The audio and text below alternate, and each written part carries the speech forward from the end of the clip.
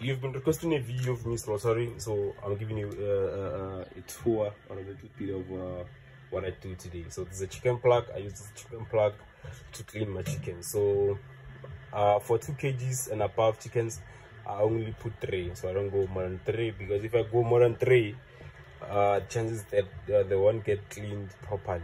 So I'll, I'll still have a lot of work to do. But when I do three or two, I know that um, you know, just little touch-ups there that will remain from uh, the chickens, but it will they will get cleaned properly. So what I use to boil my water, uh, just the kettle to boil my water. Uh, I don't use anything else, just the kettle.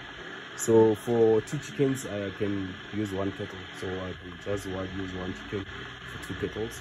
And then before I put my chicken in the hot water, I make sure that I put them in the cold water first, so that um, because people will be complaining about their chicken being uh, cut because of the chicken plucker when they're spinning. It's because uh, some people it's because you don't put your chicken in the cold water first, so you still put them in hot hot water and you set the plug. So chances that the chicken will get ruined, they're very high. So you firstly need a bucket where I'm gonna be slaughtering and putting my chicken first. So it's it's cold water in here. Then after I'm gonna put them in the hot water just for a few seconds, maybe like three seconds in the hot water, then straight to the chicken plucker and you're good to go. So right now let's just prep our two chickens and slaughter them and show you what I mean. So our chicken are done. We just done slaughtering. So I use this thing to slaughter my chickens because I'm alone.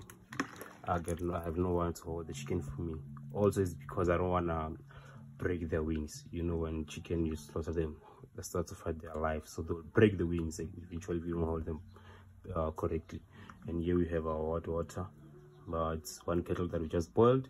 So we're gonna be taking this one into this uh, one. I'm alone, so I don't have no one to hold the phone for me. So hard luck, guys. You won't see the process of me transferring them there, but I'll try to put my phone somewhere. Uh, let me just do it like this, quick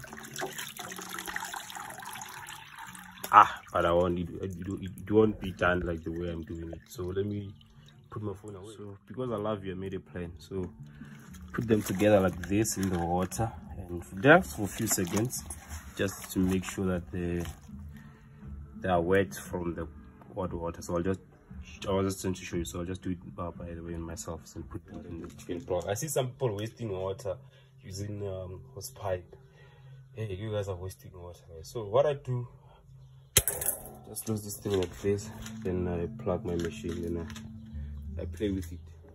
Ta we are done. So do you look how clean they are the rest that are remaining we're just going to use our hands to remove uh, all those feathers that are remaining. So you don't want to overdo them because when you overdo them that's when they break.